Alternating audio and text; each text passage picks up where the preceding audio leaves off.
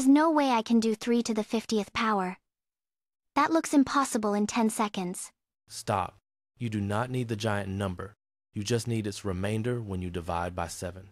First, we list the powers of 3 and reduce each one modulo 7. So I keep multiplying by 3, then take the remainder after dividing by 7. Watch the remainders. 3, then 2, 6, 4, 5, and finally 1. When we hit 1, it feels like we are back at the start. Exactly. Once you see 1, the pattern will repeat. That gives us a cycle of length 6. So any exponents that differ by 6 share the same remainder. That means for huge powers, only the exponent modulo 6 matters.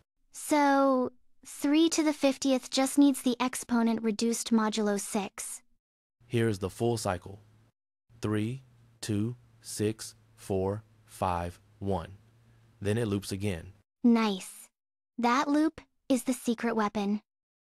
Now we crush 3 raised to the 50th power using that cycle. Okay, what do we do with the exponent 50?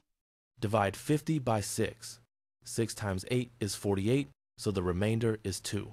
So 50 is 6 times 8 plus 2. The important part is that remainder 2. That means 3 raised to the 50th power is 3 raised to the 6th power to the 8th power times 3 squared. Nice.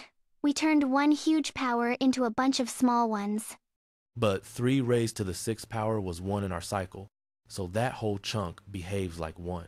So we just keep the 3 squared part for the remainder. 3 squared gives remainder 2, and 1 times 2 is just 2. So the final answer is 2. 3 to the 50th mod 7 equals 2. All from spotting a 6-step cycle in the remainders. I love it. Giant powers solved in seconds. Please like, share, and subscribe.